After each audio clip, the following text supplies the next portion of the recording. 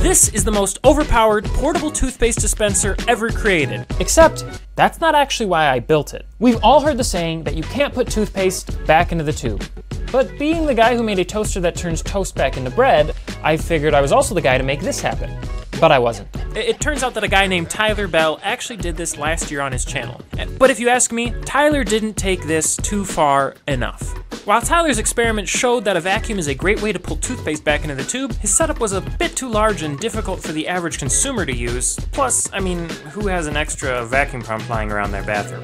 What the world needs is a handheld toothpaste manipulation device, capable of both dispensing and retracting toothpaste at the touch of a button. So let's take a look at how this bad boy works and just what kind of allegorically contradictory toothpaste tricks it's secretly capable of. The two base components are still a vacuum chamber and a vacuum pump. Here's why. When you press on a toothpaste tube, because the tube is sealed in a container, pressure builds until it has nowhere to go but out of the opening. The more you squeeze, the more that comes out, until the pressure outside the tube equals the pressure inside the tube. Going backwards, though, is much more difficult. Pulling on the tube generates some negative pressure, but another part of the tube will cave in to equalize. Basically, you would need a bunch of little hands pulling all around the tube all at once in order to counteract this effect. And that is exactly what the vacuum chamber does. When the pump pulls the air out of the chamber, the pressure inside the toothpaste tube is suddenly higher than the air around it, causing all sides of the tube to expand outwards and pulling whatever's at the mouth of the tube back inside it. And if we reverse the process and pressurize the chamber, well, I think you get the idea. Now we'll get into the build details on this frankly super easy project later in the video, but first I'd like to show you just what this thing can do.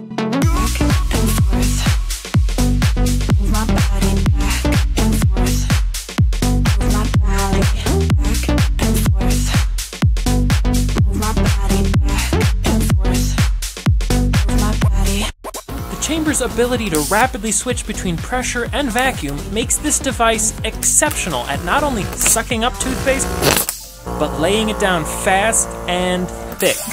But how fast is fast? And how do you even measure something like toothpaste application speed? It's actually quite simple. You use a unit measurement called toothbrushes per second. And that's why I bought a hundred toothbrushes. For science.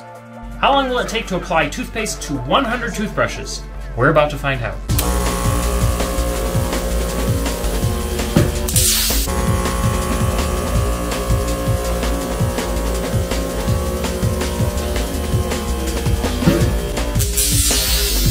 Yes, the toothpaste distribution was a little lopsided, but every single toothbrush received toothpaste in just over three seconds. And although this device absolutely does suck up toothpaste, it takes a little longer than laying it down. It's more difficult to suck up the toothpaste because the moment that the opening is exposed to any air, it immediately fills with air instead of the toothpaste. But practice makes perfect. Then I had an epiphany. The reason this device can put toothpaste back into the tube is because it creates suction within the tube, but the tube itself has no way of knowing whether it's sucking up toothpaste or any other substance like hot sauce or syrup or. No. No. It can't be. I mean, you think one way for so long, like staring out a small window in your room, you almost forget that there are other windows and other rooms, and then something comes and sh- shatters your whole reality, and the funniest thing happens. Instead of holding the broken pieces in terror, you you find joy. Anyways, Yes, this is ridiculous, but I, I have to know. Can I fill a toothpaste tube with beans? If we can put beans in toothpaste, if we can have a tube of toothpaste full of beans, how is air getting in there? Most disgusting sound. Get the air. Oh, mostly bean juice. I want more actual beans. Okay, let's see what we have. Um, I think there's a bean. There's some. There's beans in there. Yeah, there's a bean. There's a piece of a bean. The smell. The smell is. Uh, how would you describe the smell? You're trying not to smell it. That's a good idea. Beans. Bean toothpaste. so how did I build this, and what does Tyler think of it? Well, I'll tell you right after I tell you about today's sponsor. Aquafresh beans. Just kidding, it's Thangs. Thangs is a massive database of over 5.4 million indexed models. Designing a part on your 3D printer? Thangs will help you search for geometrically similar parts that you can use instead to save time. Every model they have is available to view in an augmented reality without the need for a separate app on your phone. Thangs is still adding new features like their Alpha Workspace feature, which is a visual revision control system and collaboration tool. In this modern collaborative creator world, Thangs is a wonderful tool to have in your pocket for every build that you tackle. Thangs accepts more than 28 different 3D models in CAD file formats. Now, I personally don't do any 3D printing yet, but I use my CNC machine constantly, and I just uploaded this DXF file to my Thangs account. So go click the link below to download it, or just to check out Thangs for yourself.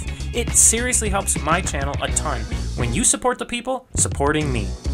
So Tyler, what do you think of the device? It's I love it. It's right up my alley. It's like an everyday task or device turned super ridiculous and impractical. I knew that when I made that video that there was definitely stuff left on the table, and I think you took it to the next level.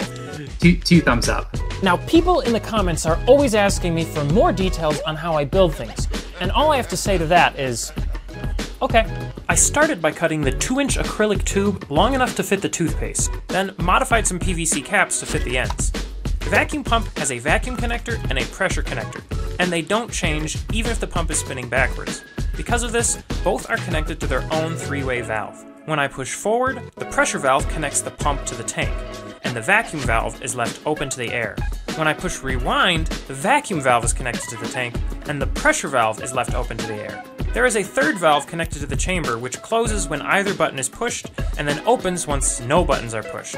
This purges either the pressure or vacuum in the chamber, returning it to atmospheric pressure so that the toothpaste stops flowing.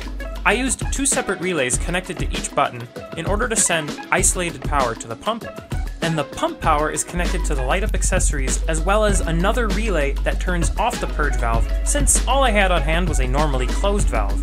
This chamber only works if there are no leaks, so I sealed up everything with a generous portion of hot glue.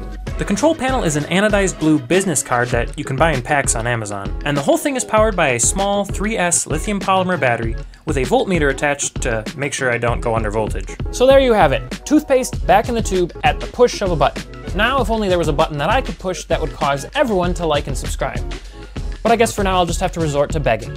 I'll see you next time.